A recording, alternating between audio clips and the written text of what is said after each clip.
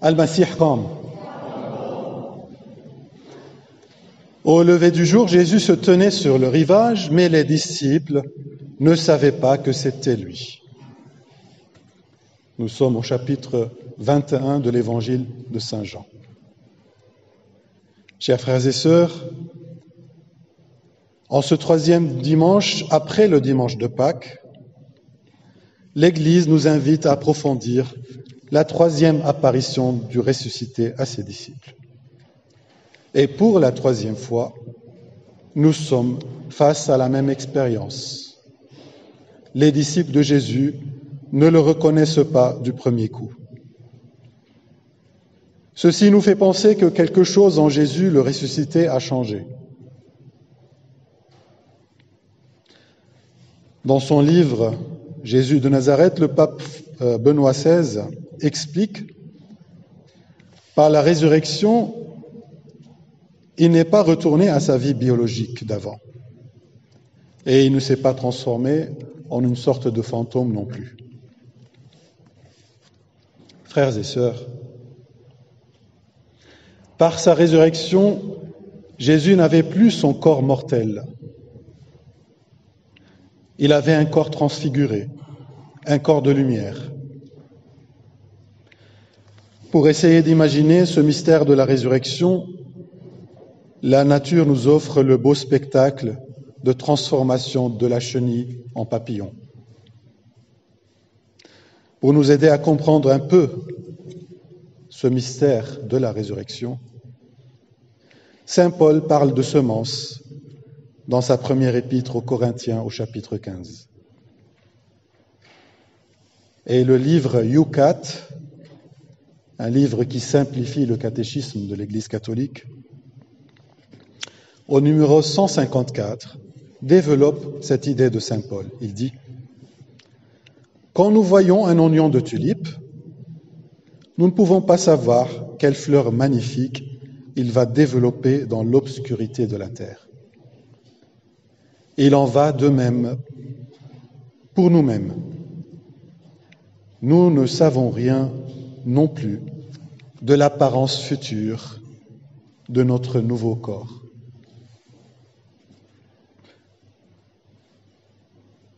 Tout à l'heure, Maï a chanté la prière de pardon, et dans la prière du pardon, on lui demandait de nous faire revêtir son corps de gloire.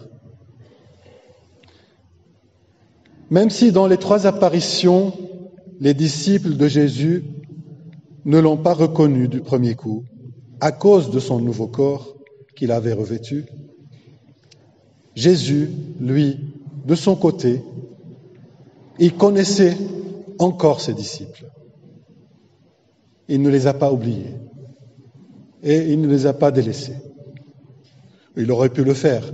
Lui qui a vu l'humiliation, la torture, lui qui a été tué, il aurait pu tourner la page et se dire, ça y est, j'ai donné. Non. Il reconnaissait et il connaissait encore ses disciples. Et ses disciples l'ont reconnu après réflexion. Nos frères et sœurs de rite latin écoutent aujourd'hui à la messe Jésus dire Je suis le bon pasteur.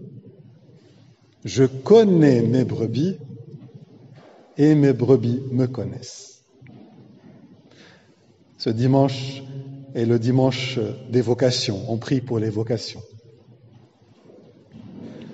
Frères et sœurs, la bonne nouvelle, c'est que même si nous ne reconnaîtrons pas le Christ, lui-même nous reconnaîtra. La bonne nouvelle, c'est qu'en présence du Christ, nous ne manquerons de rien.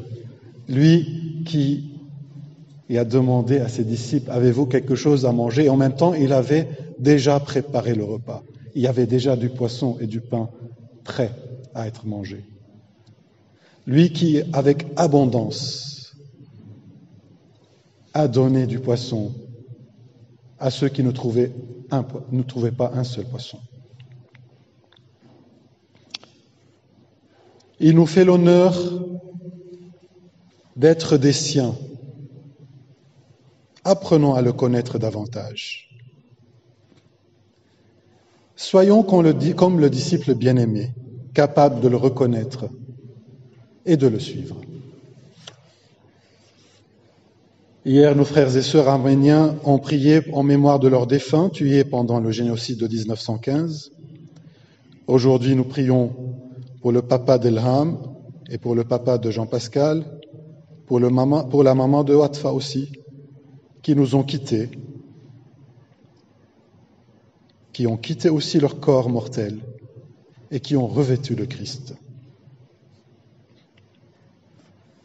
Continuons à montrer de la reconnaissance en honorant ceux et celles que nous avons connus et qui nous ont aimés. Ils ne sont pas morts. Ils intercèdent pour nous auprès du Père céleste. Ils ont obtenu la vie éternelle, comme Jésus l'avait promis. Aujourd'hui, nous fêtons Saint Marc,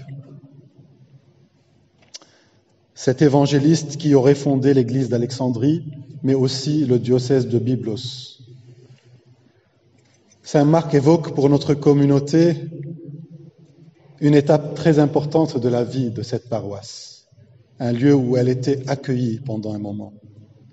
Et c'est une occasion pour nous aussi de voir tout le chemin parcouru, d'être fiers, d'avoir continué le chemin et de voir cette communauté s'agrandir et d'arriver à ce qu'elle est arrivée aujourd'hui. Et le chemin continue encore. Nos frères et sœurs de l'Église orthodoxe fêtent aujourd'hui les rameaux. Nous leur souhaitons, une bonne semaine sainte et une bonne montée vers Pâques. Au Seigneur la gloire pour toujours.